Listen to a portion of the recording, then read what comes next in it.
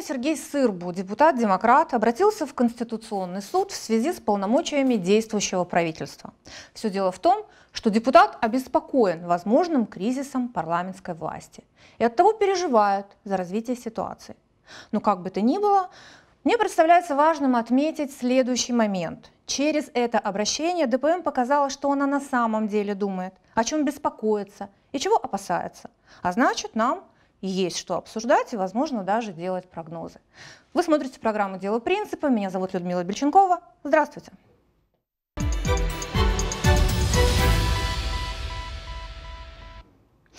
Гости эфира. Фадей Нагачевский, эксперт в области права. Добрый вечер. Здравствуйте. Политолог Корнелий Учур. И вам добрый вечер. Добрый вечер.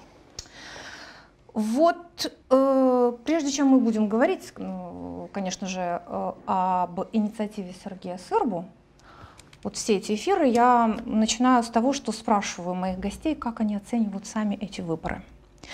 Э, вот э, сегодня много комментариев, как вы знаете, но мы с вами еще живем в Республике Молдова, поэтому мы прекрасно понимаем, что пока нет окончательного решения Конституционного суда, да, то у нас как бы люди склонны делать разные прогнозы. Пожалуйста, оцените э, эти выборы и, если можно, ваш прогноз на будущее решение Конституционного суда о легитимности. О легитимности нет. Э, Конституционный он приз, суд должен э, признать эти выборы, да, да. Он сделает, выдаст решение не о легитимности выборов, а состоялись ли они или нет. Ну да. Как бы признает, и я думаю, что оно будет положительным. В принципе, причин э, объявить их недействительными, я думаю, нет потому что э, все, в принципе, иностранные миссии, э, как западные, так и восточные, признали правильность выборов, корректность выборов, конечно, делая определенные замечания. Э, хотя, например, если касаться Приднестровской проблемы в нашем случае, то не совсем понятно, как решать эту проблему. Но э, я считаю, что, в принципе, выборы показали, что наша электоральная демократия с определенными э, проблемами, но функционирует в режиме относительной нормальности. Как я их оцениваю? Я оцениваю э, успешными, опять относительно успешными для демократической партии, естественно, для партии Шора, и относительно неуспешными для э, социалистов и э, правых. Но все может поменяться в связи с переговорным процессом, который должен начаться, поэтому проигравшие могут стать победившими и наоборот. Знаете, вот есть такое простое э, определение, когда говорят, говорят о выборах, говорят честные выборы, нечестные выборы. Угу. Вот если я вас попрошу с этой точки зрения. Не, э, там есть два. Потому э, что есть много людей, которые убеждены в том, что они были нечестны. Э, есть корректность и честность выборов. Одно относится к самому процессу до выборов, и второй термин относится э, к подсчету голосов, то, то как проходил процесс в день выборов. Э, всегда у нас больше проблем к той части, которая относится к самой избирательной кампании, что было до этого. То есть оппозиция считает, что были, было много нарушений. Мне кажется, нынешние выборы мало чем отличались от других выборов, то есть относительно честные они, и вот эта оценка, мне кажется, правильная. Спасибо.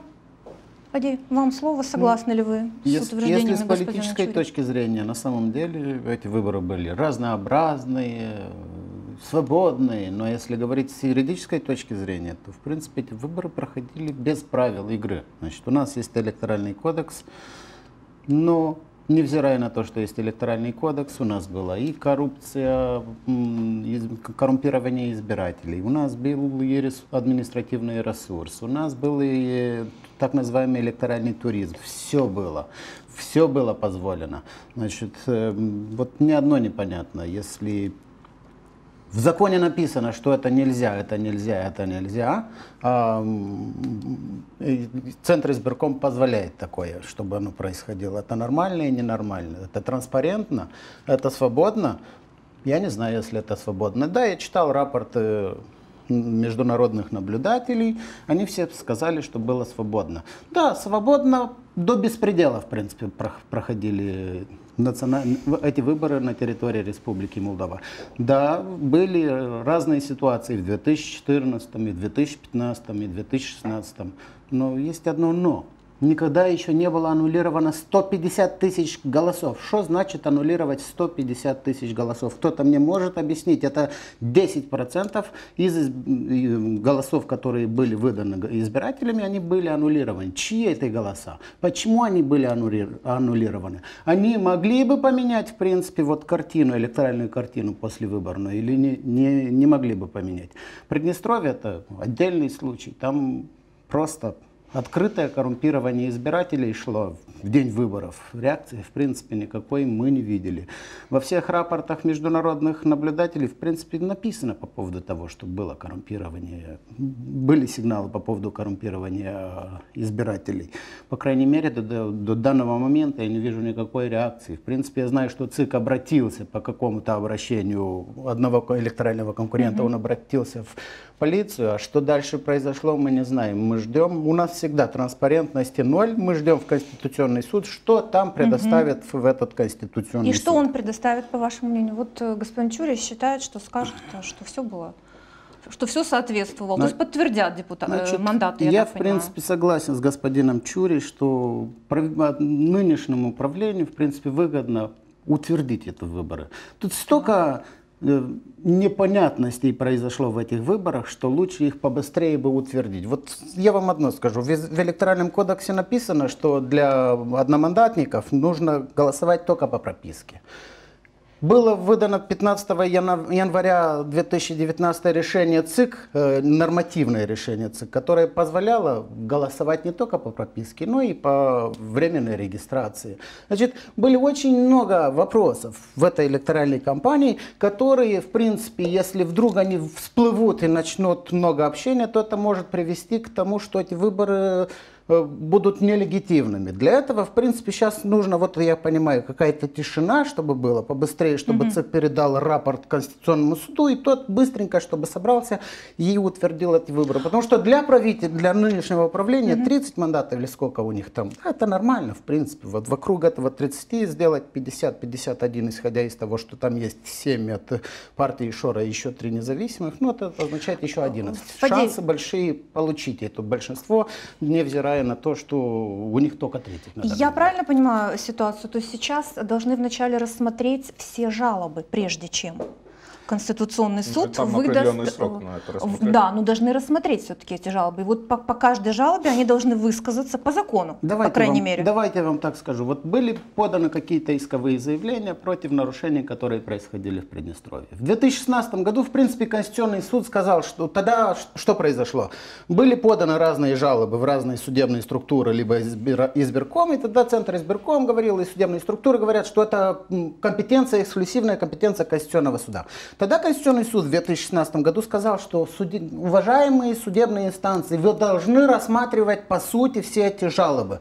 Вот сейчас были поданы разные исковые заявления да. против Приднестровья, скажем, вот избирательного процесса в Приднестровье. А что делает наша судебная система? Она выдает э, определение о возвращении искового иска, потому что это компетенция, в принципе, Конституционного суда. В принципе, Повторяется ситуация 2016 года, судьи не хотят рассматривать это дело, и вот эти определения выдаются очень быстро. Я понимаю, что до понедельника да не будут никаких судебных разбирательств, ничего не будет, и в понедельник, вторник уже Конституционный суд спокойно сможет собраться даже в воскресенье и вынести быстренько это решение об утверждении этих списков Поняла. депутатов. Да.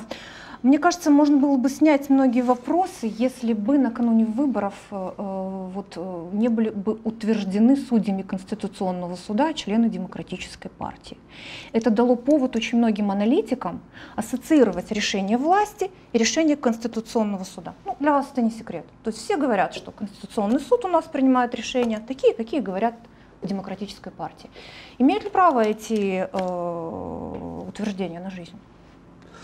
Ну, нужно судить по тем решениям, которые выдавал Конституционный суд вообще в последнее время. И, в принципе, э, можно считать, что эти решения редко когда противоречили воле демократической партии. Так. Хотя, например, вот решение по президентским выборам, э, по возможности проведения президентских выборов в 2016 году, конечно же, э, несколько так смутило многих, потому что вроде бы они были невыгодными демократических пар... демократической партии. Ну что вам сказать, обычно и в демократических обществах, если э, тот иск, который подается в Конституционный суд, не противоречит прямым образом э, закону, то решение, которое принимается, а возможно интерпретации, то интерпретации, которые даются, они чаще всего в пользу э, той партии, которая правит, будь то коммунистическая, демократическая, социалистическая mm-hmm. или либерал-демократическая. То есть вы считаете, что это правило? То есть нужно нарушить в самом деле серьезно закон, чтобы Конституционный суд выдал, дал такое решение, которое бы, э, скажем, подтвердило бы это. Э, в тех случаях, когда, возможно, повторюсь, интерпретации, интерпретации даются в пользу ну, более сильной стороны. Это так во, во многих э, системах. Это так во многих системах, Фадей. И то есть получается неправы те, кто в, то время говорит, ну, что у нас, у нас, э, я спрашиваю, будто... я задаю вопрос, а вы, да, да. вы, вы просто сейчас. Не, ну, просто я, я чувствую, куда вы это подводите. Когда мужчине, у мужчины нет аргументов, он начинает тут же обращать внимание на эмоциональное состояние Ой. женщины. Да.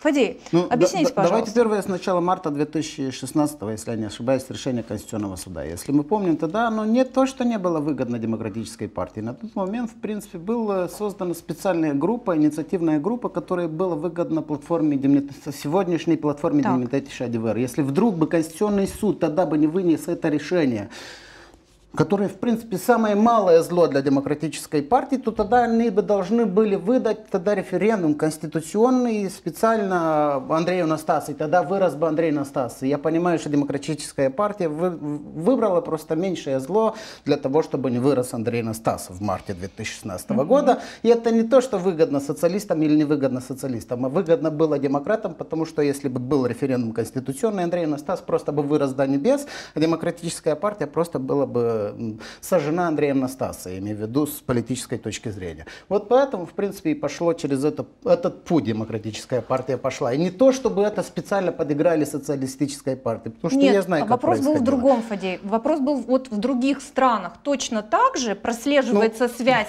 что вот вердикты Конституционного суда... Я понял. Я, да. я это в ответ на, на э, второй элемент по поводу того, что вердикты угу. Конституционного суда, в принципе, они идут и исходят из общей линии политики государственных органов, государственных органов. В государстве, а. в принципе, Конституционный суд ведет ту же политику, в принципе, которая ведет государство. Проблема в Республике Молдова, что у нас политическая линия демократические партии прослеживается в э, решениях Конституционного суда, mm-hmm. но не политическая линия государства. Потому что, в принципе, демократическая партия хочет сказать, как у нас происходит. В принципе, у нас нет государственной линии, у нас есть линия демократической, демократической партии. Вот из этого у нас и полный хаос, и непонимание, в принципе, решений Конституционного суда. Из-за того, что политики, которые находятся при власти, сегодня сделали так, что мы не прослеживаем, в принципе, принципе, государственной политики. Мы прослеживаем исключительно демократической партии политики. Поняла. Вот из этого и сам, вся проблема. То есть вы тоже э, как бы среди тех аналитиков, которые говорят, что исходим из того, чего хочет власть. А вот чего хочет власть в данной ситуации, это самый интересный вопрос.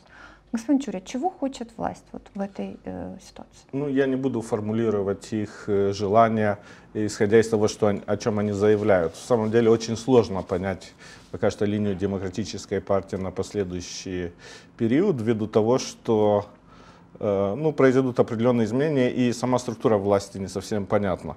Для меня относительно понятно, что демократы остаются, скорее всего, у власти. Я делаю этот прогноз, несмотря на то, что есть такие, которые многие желают досрочных выборов, хотят, э, скажем так, выброса демократической партии и с политического олимпа, сбрасывания его с политического олимпа. Но я думаю, что отвечая напрямую на ваш э, вопрос, я думаю, что демократическая партия после того, как э, вместе с кем-то э, создадит, создаст новую власть, они должны будут очень четко и несколько иначе сформулировать свою политическую линию.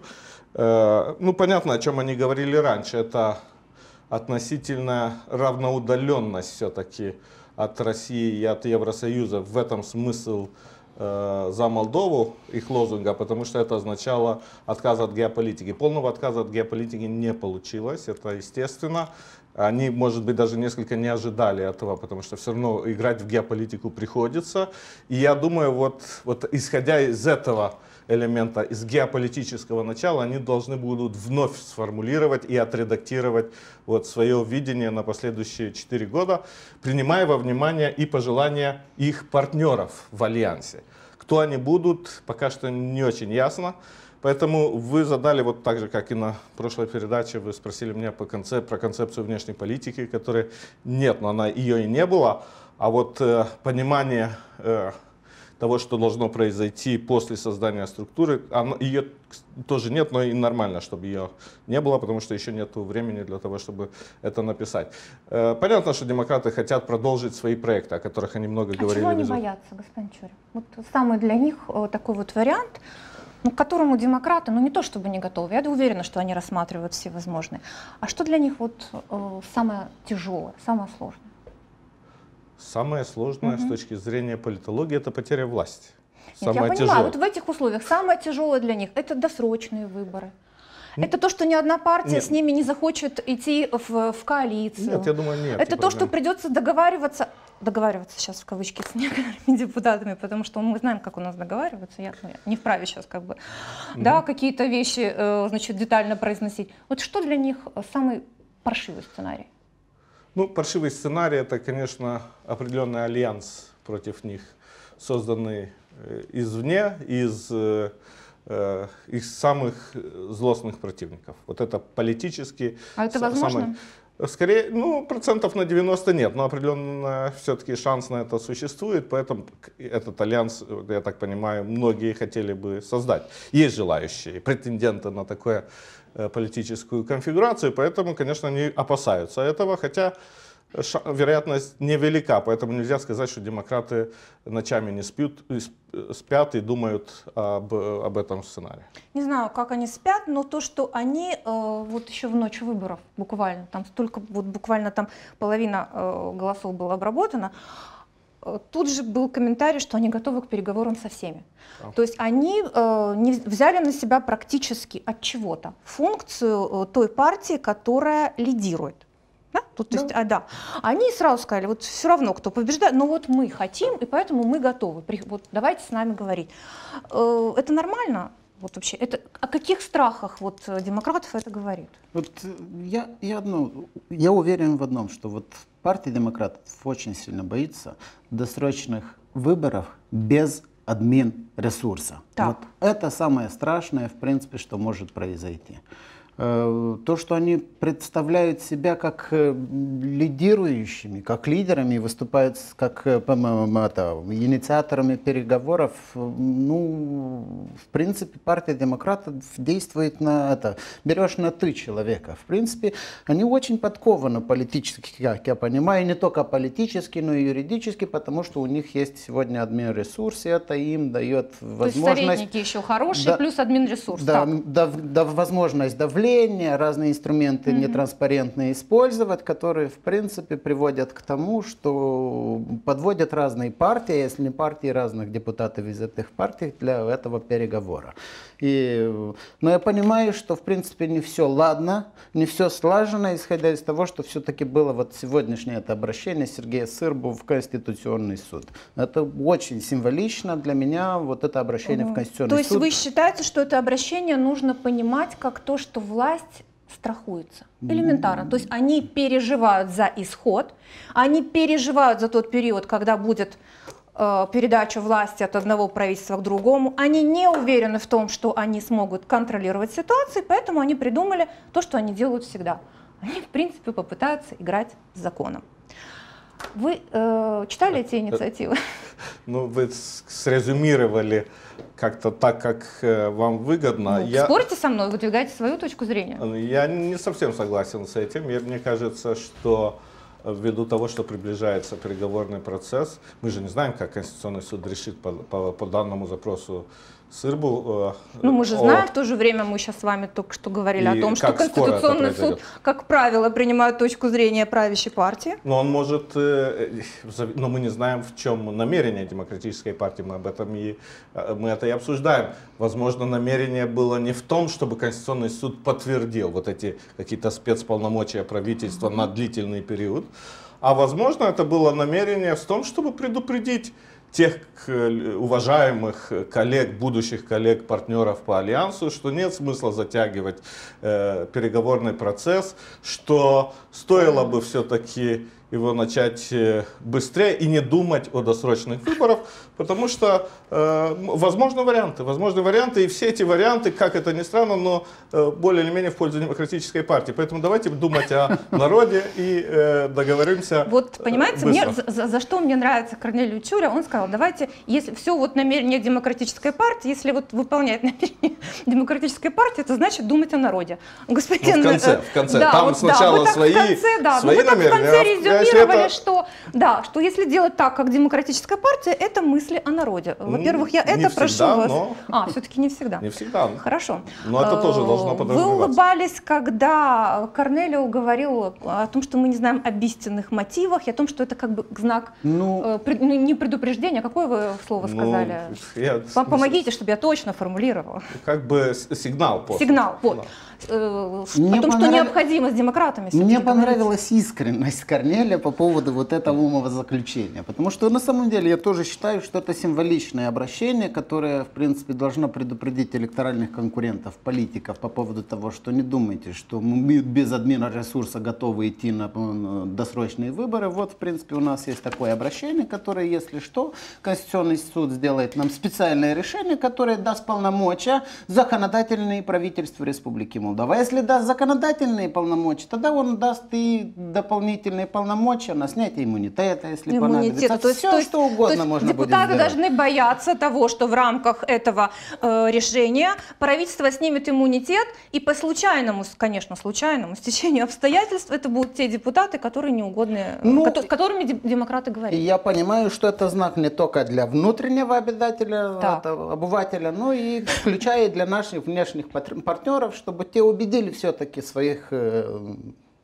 как это, конкурентов, протеже. которые поддерживали протеже, да, слово, что спасибо, лучше да. делать э, альянс, а то иначе вот может быть похуже ситуация. В принципе, я так понимаю. Этот инструмент, я не знаю, с юридической точки зрения, оно мне не нравится, но с политической точки зрения вот эти формы давления, как я понимаю, недопустимы. Я не знаю, если они допустимы, но я, я, я пока есть я это бы сказала, обращение, что они есть не то, чтобы допустимы, с политической точки зрения. Я бы сказала. Эффективно. Ну, вот. Мне так больше нравится, что допустимо, недопустимо. Тут есть вопросы, и вопросы эти э, сегодня возникали весь день после того, как рано пришла эта новость. Очень много э, мы дискутировали. Давайте так вот, чтобы мы нашим зрителям попытались объяснить просто.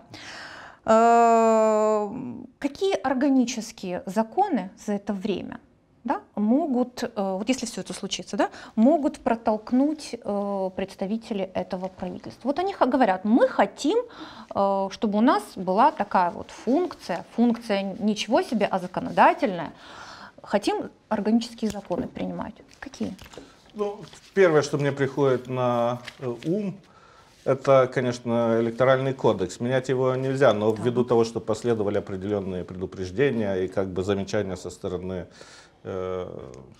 наблюдателей, то в принципе можно заняться и электоральным кодексом, его исправить, улучшить в зависимости а от... в чью пользу? Ну, вот это уже мы будем потом э, обсуждать, ага. когда это произойдет, потому что мы, мы же не знаем, что у них... Э, то есть ну, мы даже не можем догадаться, в чью пользу будут эти изменения. Ну, например, вот появились претензии по Приднестровью. Вот вы думаете всегда почему-то о чем-то плохом. Давайте подумаем да о хорошем. что вы, разве я могу? Э, при, по Приднестровью возникли определенные претензии. Почему бы не попробовать? Хотя я, честно, не знаю, но, наверное, юристы понимают, это лучше.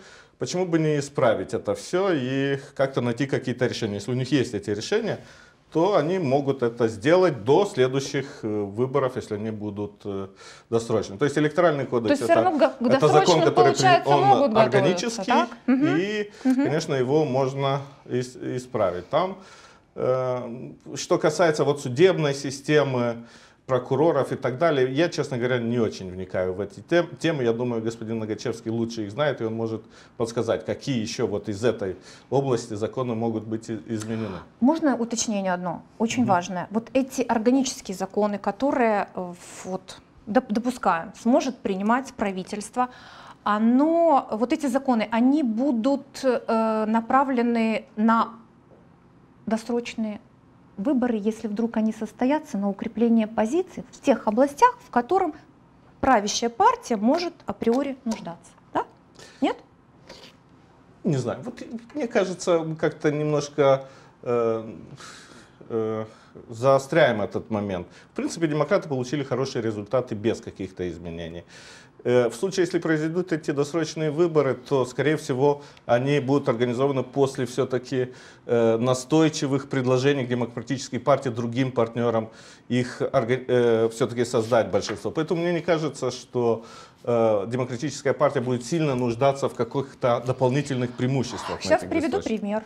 Ну, Почему давайте. может нуждаться в каких-то преимуществах? Вот, например, Господин Нагачевский, могут они принять за это время какие-то законы, которые позволят обойти э, нежелание президента да, э, подписывать документы, связанные с избирательной кампанией, с итогами выборов, с выдвижением на пост э, премьер-министра. Да? Ведь президент, например, вот я так обобщаю. Но президент сказал, что если ко мне придут вот с этой коалицией, выдвинут премьера, э, что э, не между партиями, между фракциями, угу. а понадерганные депутаты, мы знаем по каким, он, например, заранее говорит, я не хочу. Так вот, могут ли они принять какие-то законы сейчас заранее, ограничивающие права э, главы государства?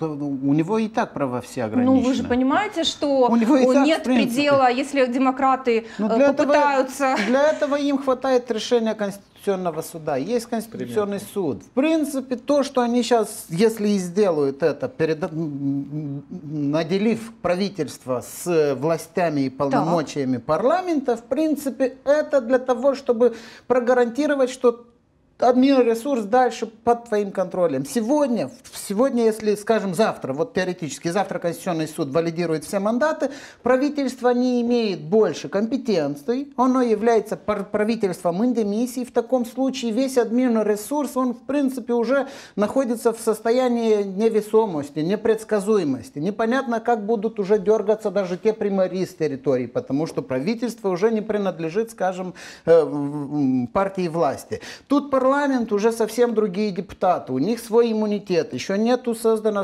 большинства. И исходя из этого, в принципе, это решение, если наделить такими властями правительства Республики Молдова, это гарантия контроля админресурса. Больше ничего, да не надо им менять электоральный кодекс, ничего не надо менять. Сделать еще раз выборы на тех же условиях и по тем же правилам. Да что им нужно было? Они все сделали, в принципе. 150 тысяч аннулированных голосов есть? Есть. По дополнительным спискам непонятно непонятно сколько проголосовали, проголосовали. Коррумпированные э, избиратели есть, есть. Я Каждый вам отвечу, день господин Ногачевский, мог, могли ли вы предположить еще вчера, например, что у нас правительство, которое исполнительная власть, как правило, будет просить для себя полномочий законодателя. Но она не просила. Это ну как не просит? Вот Серджио Сырбу, значит, красивенько обратилась. Ну, вы поймите, ну, могли это... ли вы такое представить, например? Нет. Вот кто-то мне сказал, что это, что это предсказуемо. Может быть, политически оно предсказуемо, но юридически это полный нонсенс. Да. Но это невозможно. Как? Вот скажите мне, как отключить парламент и дать правительству парламентские полномочия? Я понимаю, что можно отключить правительство и дать дополнительные полномочия парламенту на какой-то период, скажем. Ну что, что случается? Даже Нет. если ликвидируется парламент, он все равно же не остаются эти депутаты но есть во власти. процедура вот этих экстренных э, принятий определенных законов, есть. когда берет правительство да, на, да, себя ответственность, на себя ответственность на определенный период, и потом парламент должен это как бы подтвердить Правда? задним числом. Да, все равно парламент, за парламентом сохраняется... Нет, я, это важный нюанс, и при этом оно, оно сразу готово готовы уйти в отставку, если, вы знаете, эти, с этим... 24 э, часа, но для этого да. должен быть функциональный Понимаете? парламент, который а здесь может они хотят ничем не рисковать, а просто-напросто давайте вот мы ну, будем видите теперь ли, парламентом. Э, э, запрос сформулирован в трех пунктах, насколько угу. я помню, и там так, пусть Конституционный суд выскажется, вправе ли или нет. Вот он может ответить, я, честно говоря, не знаю, но мне, конечно, с юридической точки зрения это звучит немножко странновато, что правительство берет на себя. Но видите, там интересно поставлен вопрос.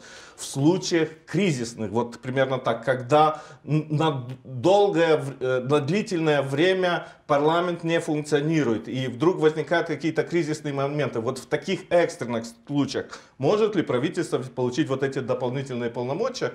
И здесь, ну, как бы, Конституционный суд может и подумать. Корнелий, давайте я вам так да. скажу. Вот кризисные ситуации, они, в принципе, что сказали? Что вот правительство утверждает закон о бюджете. Да, и это компетенция правительства. Но, в принципе, у нас в законе о бюджете написано, что если не подтверждается один закон, да, то действует старый. старый закон. Тут есть гарантия. Второе. Да. Я про бюджет ничего не говорю. Второе. Если мы говорим о том, что прави...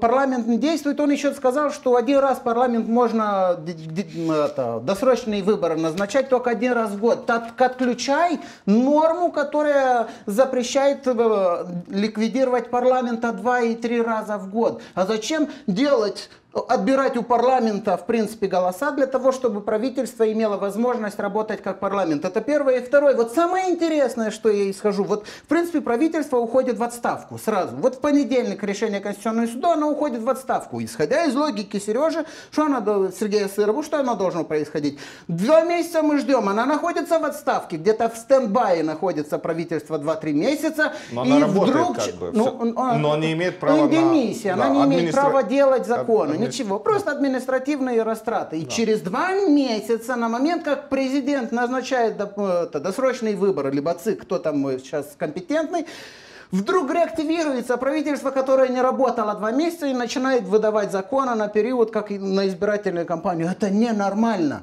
В принципе, эти депутаты, которые входят в избирательную гонку, они являются депутатами до следующего выбора. Они, их никто не ну, убирает Но, из парламента. Я не будучи юристом, э, конечно, вы лучше чувствуете эти моменты, но могу как-то предвидеть, вот в какой коле может идти размышление Конституционного суда. Да, по сути, правительство является административно, выполняет административные функции на период, когда да. э, вот такой транзитный период. Но могут быть определенные моменты, ну, экстренные какие-то, что-то необычное, которое бы произошло. И, и, и в этом случае можно предположить, что правительство может получить какие-то дополнительные форс-мажорные какие-то ситуации.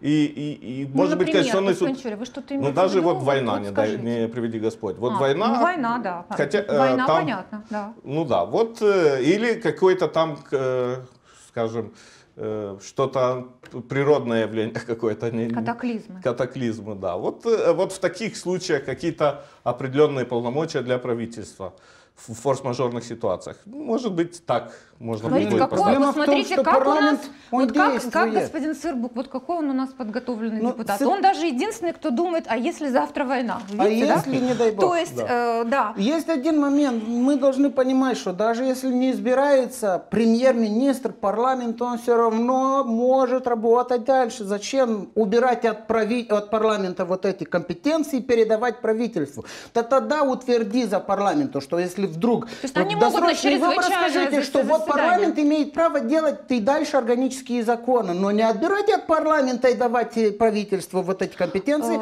а подтверждать на этот период парламенту дополнительные компетенции. Вот, например, Это является да? парламентская республика. Чрезвычайное заседание. Нет, но парламент говорите. же не функционален. На... Почему, Почему он не функционален? Ну там не, не, не, не избранные. Ну, при войне я понимаю, что при войне я уверен, что все соберутся и проголосуют. О чем мы говорим? А, ну если так. Если... Ну они же есть, эти депутаты, они не умерли, они просто не вы, Господина Чурю мы убедили, осталось убедить вот господина Сырбу. Э, и может быть в, в убеждении господина Сырбу э, важным моментом будет э, пример я не знаю, вот из международного права. Есть ли в других странах вообще когда-то, вот было ли, господин Нагачевский, ну, чтобы вот так вот, вот, вот так было? Ну, давайте без Луны. Ну, Давайте я, на землю, да. Ну, я не знаю, в демократических странах я не слышал про такие ситуации. Я не знаю, ну, ну Конституционный суд нам покажет, Я начинаю я думать, что в других странах не думают о войне. А у нас вот да у нас не, серьезно. Не, не о войне, не, чтобы, ну, чтобы правительство работало в парламенте. Господин Сырбу думает об этом. Вы я же с самого начала сказал, с моей точки зрения, в чем замысел этого. Но вы развили другую тему и меня затащили туда, и теперь делаете выводы как бы в свою пользу, хотя я как бы не да, считаю... Да, боже упаси моя польза, я рассматриваю инициативу господина Сырбу. Ну, Вот. Да. Э, мне кажется, что, э, во-первых, конечно, эта инициатива свежа, и мне, я еще не успел э, как бы проверить все, все источники и, и узнать, угу. есть ли такие примеры в других странах или нет. Но раз у депутата появился интерес, почему бы не отправить этот, этот запрос в Конституционный суд? Пусть Конституционный суд выскажется. Да, вот на самом деле, ну, я призвала бы не расслабляться, потому что, знаете, вот есть у нас история решений Конституционного суда. Вот когда реши, приняли решение, в результате которого господин Филат не смог баллотироваться на пост премьера, вот все были расслаблены. Знаете, никто не думал, что Конституционный суд вот сегодня примет такое решение, из-за которого завтра у нас перевернется вся наша, э, значит, э, политическая, я не знаю, ну не скажу система, но ситуация точно тогда изменилась. Людмила, тогда можно есть, было еще предугадать. Там еще есть адекватное аргументирование. Это я к тому, что нужно обращать внимание на эти вещи, потому что я же говорю, вот тогда Нет, никто, не, говорю, никто не, не обратил обращать. внимания, так все это было Согласен прежде всего господин Филат, да, он был уверен, что вот, Нет, раз вот пошла... оно рядом. Абсолютно. Раз была написана такая инициатива, конечно, причем в такой деликатный период, то, конечно, на это нужно обращать внимание и нужно понять, почему она появилась. И поэтому я, конечно, приветствую эту беседу и обмен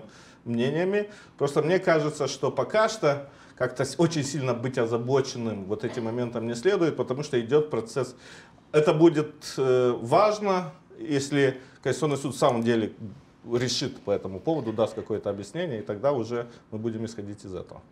Ну, это разумно. Всегда Знаете, дождаться тут? Это, решения. Это запрос о интерпретации. Вот этот запрос о интерпретации выдается никто, никто ничего никогда не будет знать, когда он был выдан. В принципе, его можно сегодня написать, держишь там в карманчике. Если вдруг видишь, что кто-то не сидит нормально на стуле, то в таком случае вытаскиваешь угу. это решение и говоришь, а вот и уже есть вынесено решение. Не публикуй ее на сайт Конституционного суда. Мы даже не можем знать ты, о том, ты к тому, было что, возможно, вынесено. это раньше было все. Не, я могу, я могу сказать, что сегодня сегодня оно может быть уже вынесено, мы сидим сейчас и общаемся, может быть оно не вынесется, может быть через и месяц этом... оно уже должен, может быть уже и, провогла... и... провозглашено это решение. Ну тогда вообще.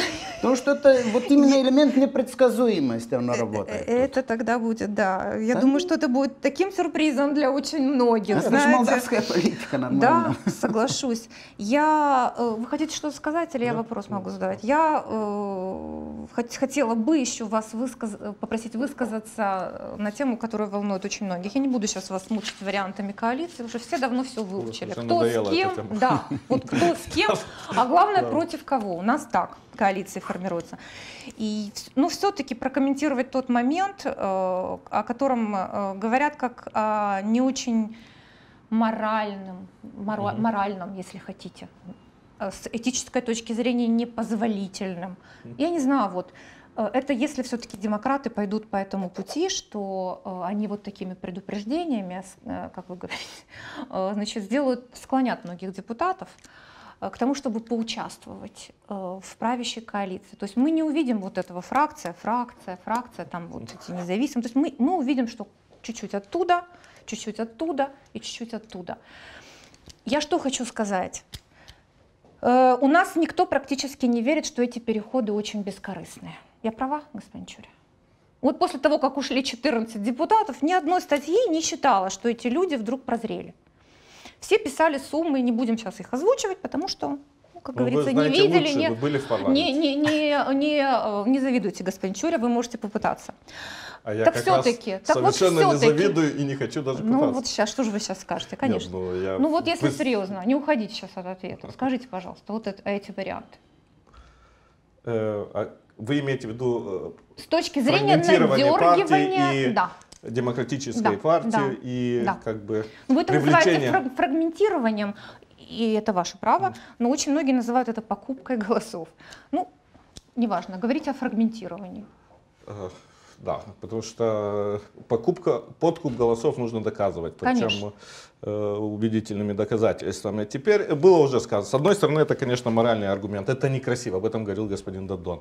Не, неэтично, понимаете ли, А вы согласны, что это что неэтично? Я, я политолог, я вам сказал, что главная проблема в политике это потеря власти. То есть, если исходить из этой сильной мотивации политиков, ее понимать и с этим соглашаться, а я должен с этим соглашаться, то я считаю, что этот э, этичный, неэтичный аргумент, он не функционирует в реальной политике.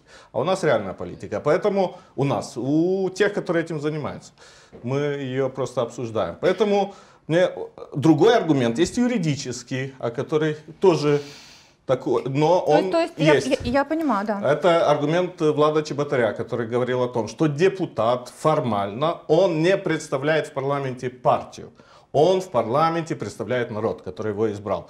Поэтому является ли он членом какой-то партии, ушел он из этой партии и пошел в другую, это не принципиально с юридической точки зрения и с точки зрения юридического понимания суверенитета э, и носителей суверенитета депутатов. Вот это юридический аргумент. Но а как меня... вы полагаете, вот те, да. кто будут следить за этим, будут выдавать свои вот вердикты по поводу коалиции? Ну, помню, вот самое яркое, это когда Виктория Нуланд помните, да? Угу. Когда все говорили, что вот сейчас в ее руках, что она скажет по поводу того, что когда ночное правительство, э, значит, э, Филиппа было, все ждали, что вот это было важно. И все, вот скажите, пожалуйста, они будут приветствовать вот этот факт, вот как вы говорите, фрагментирования, либо они... Э... Отвечу вам в да, моем вот, же ключе. А, да, они да, будут да. это приветствовать или не приветствовать, исходя из их интересов. Если там те, которые фрагментируют, это их э, гады, или как говорят, э, их... Вот, да боже упаси, такие сволочи, слова. Их сволочи, потому что... Меня Обычно говорят часто... сукин сын. Или да, сукин да. сын, ну, примерно да. то же самое. Ну, все-таки разные немножечко, да. Э, то они будут это приветствовать. Это если это не их сукины сыны, тогда они э, будут критиковать и приводить То есть вы не хотите говорить, что вот у нас в стране опять появится правящая коалиция людей, которых в результате вот люди будут же понимать, как она была сформирована, и очень многие опять будут говорить нелегитимный парламент, да. нелегитимный вот парламент, это да. Те, понимаете? которые останутся обиженными, да. они будут Нет, использовать... Не, не обязательно те, которые обижены. Ну, а, а как? Будут они... критиковать, что нелегитимно. Потому что они окажутся вне это, этого парламента. А, полагаете, те, кто вне, те будут обижены? Они будут обижены, и они будут критиковать, говорить о нелегитимности. Конечно. Только... Это, ну, мы это будем воспринимать очень спокойно, мы будем понимать, что они остались не у дел, у разбитого корыта, как бы их, хотя, есть... если у них нет и права еще и жаловаться, отобрать у них, то это вообще уже Завидовать будет. будут. Пожалуйста, господин Ногачевский, ну, ваш комментарий, уходим, но уже да. вышло время. Ну, если, если мое мнение, то я могу сказать, что, в принципе, демократическая партия не думаю, что очень заинтересована рвать какие-то э, мандаты. Почему? Потому что сколько уже, три года они мучаются легитимизировать себя из-за того, что они как бы сделали вот эту формулу, использовали эту формулу для того, чтобы создали актуальное э, большинство. Поэтому я думаю, а что... А как они... они мучаются? Можно я узнаю? Ну, все равно на международном уровне есть много критик против Республики Молдова по поводу того, что были коррумпированы депутаты. На территории угу. Республики Молдова очень много дискуссий. Поэтому То есть для... все-таки, все-таки имеет значение? Э, абсолютно. Да.